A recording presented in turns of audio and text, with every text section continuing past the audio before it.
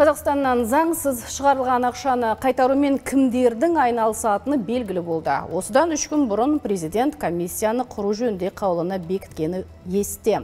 Сонда бұл іске бас прокурор Берік Асылов жетекшілік ететінін айтқан. Енді қатарға оның орынбасары Ұлан Байжанов, Ұлттық банк төрағасы Ғалымжан Пірматов, сыртқы істер министрі Мұхтар Тілеуберді, қаржы министрі Ерлан Жамаубаев, самұрық қазына басшысы Алмасадам Сәтқалиев, Ұлттық қауіпсіздік комитеті, бәсекелестікті қорғау, қаржы нарығын реттеу, сыбайлас жемқорлыққа қарсы іс-қимыл агенттігінің төрағалары мен ішкі істер және әділет министрлері қосылды.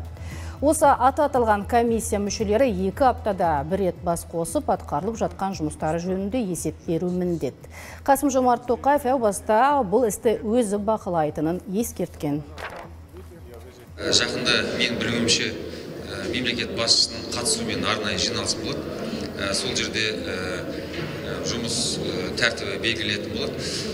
Негізінен бұл комиссияны басқаратын бас прокуратура және де президентке тікелей бағынатын мемлекеттік органдардың басшылары кіреді. Және де қаржы министрлігі тарапынан мынау ұлттық банкпен бірге сыртқа кетіп жатқан қаражаттардың сомаларын сараптап солардың егер де құқық бұзушылықтарға деген бір қандай да критерийлер болса біз оны қаржы қадағалау агенттігіне берген болатынбыз.